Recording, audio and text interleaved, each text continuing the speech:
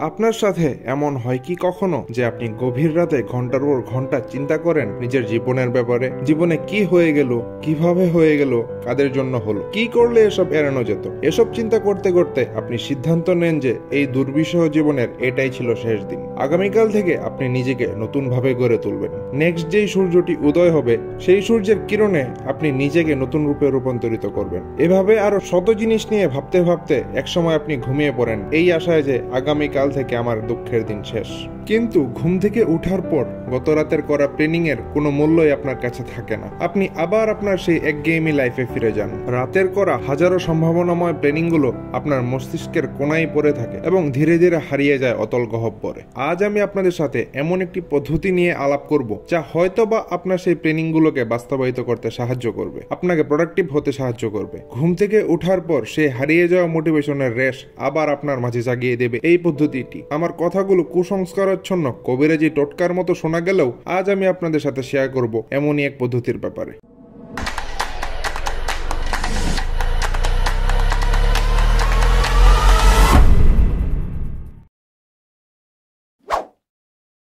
দিনের বেলা একজন সুস্থ স্বাভাবিক মানুষও রাতের বেলায় নিজেকে নিয়ে খারাপ চিন্তা করতে শুরু করে। সুস্থ মানুষ হোক কিংবা ইনসোমিনিয়ায় আক্রান্ত কিংবা ডিপ্রেশনে ভোগা মানুষ এনজাইটির কারণে রাতের বেলা প্রায় সবার মাথায় কোনো না কোনোভাবে ব্যাড থটসের একটি সার্কেল শুরু হয়। কারণ দিনের বেলা একজন মানুষ বিভিন্ন ধরনের কাজে ব্যস্ত থাকলেও রাতে যখন সে ঘুমানোর প্রস্তুতি নেয়, তখন তার কাছে কোনো কাজ থাকে না। তখন তার মাইন্ড একদমই ব্ল্যাঙ্ক থাকে। আর তখনই একজন মানুষের তার জীবনের কোনো এক সময় ঘটে যাওয়া কাহিনী মনে পড়ে। হোক সেই ঘটনা দশ দিন আগের কিংবা দশ বছর আগের। এভাবে চিন্তার সাইকেল চলতে চলতে একজন মানুষকে তার জীবনের কোনো অন্ধকার অধ্যায়ের সামনে নিয়ে দাঁড় করায়। কেউ যখন খুব মাত্রায় নেগেটিভ থটসের সাগরে ডুবে যায়, তখন ব্রেইন তার অপোজিট রিয়েকশন দেখানো শুরু করে এবং নিজেকে ভালো ফিল করানোর জন্য জীবনে কি করলে সে তার বর্তমান অবস্থার থেকে আরও ভালো অবস্থায় যেতে পারবে, তার প্ল্যানিং শুরু করে। নিজের সাধ্য সামর্থ্য অনুযায়ী সকল ভালো ভালো প্ল্যান তখন তার চোখের সামনে ঘুরঘুর করতে থাকে। কিন্তু পরদিন সকালে ঘুম ভাঙার পর সে সকল প্ল্যান হাওয়া হয়ে যায়। গত রাতের কথা মনে থাকলেও দৈনন্দিন কাজের চাপ সেগুলোকে সামনে থেকে সরিয়ে দেয় এবং একজন তার ডেইলি রুটিনে চলা শুরু করে। এই সমস্যার সমাধানের জন্য দ্য নেইবারহুড ইফেক্ট খুবই কার্যকর একটি পদ্ধতি।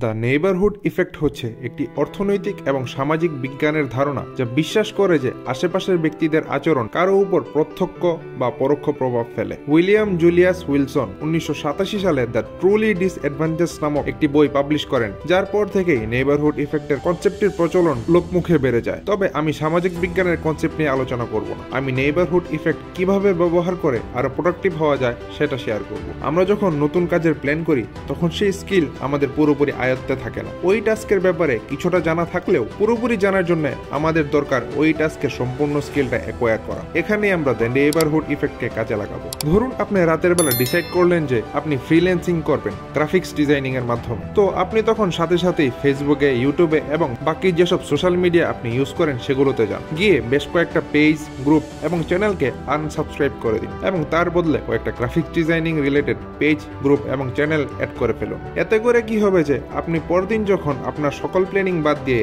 রেগুলার কাজের ফাঁকে সোশ্যাল মিডিয়ায় ঢুকবেন, কোনো এক ফ্রেন্ডের পোস্ট দেখার জন্য কিংবা কোনো মিম দেখার জন্য কিংবা ইউটিউবে পাসুরি গান শোনার জন্য, তখন আপনার সামনে automatic graphics designing related content আসতে থাকবে। অলসতার কারণে আপনি দু একটাকে স্কিপ করলেও একসময় আপনি ওই কন্টেন্টে ক্লিক করবেনই এবং ওই স্কিল শিখতে এভাবে আপনি এক ধাপ এগিয়ে যাবেন। এভাবে নিজের আশেপাশে সবকিছুকে এডুকেশনালি চেঞ্জ করে ভালো কিছুর দিকে নিজেকে এক ধাপ এগিয়ে নিয়ে যাওয়াটাকেই বলে দ্য নেইবারহুড ইফেক্ট শুধু গ্রাফিক্স ডিজাইনিং না, আপনি যে কোনো ধরনের কাজের জন্যই এই পদ্ধতিটি ব্যবহার করতে পারেন। এটা করলে আপনার যখন সময় থাকবে, কিন্তু নিজে থেকে কিছু শেখার ইচ্ছা থাকবে না, তখনও আপনি অটোমেটিক স্কিল অ্যাকোয়ার করতে থাকবেন। এতে আপনার কোনো ডিপ থটস এর দরকার পড়বে না। দরকার পড়বে না কারও দেওয়া কোনো প্রকার মোটিভেশনের আপনি আপনার সোশ্যাল মিডিয়াগুলো দিয়ে নিজেকে এক ধরনের ট্র্যাপে ফেলবেন এবং এই ট্র্যাপের লুপই আপনাকে হাজার গুণ প্রোডাক্টিভ করে তুলবে।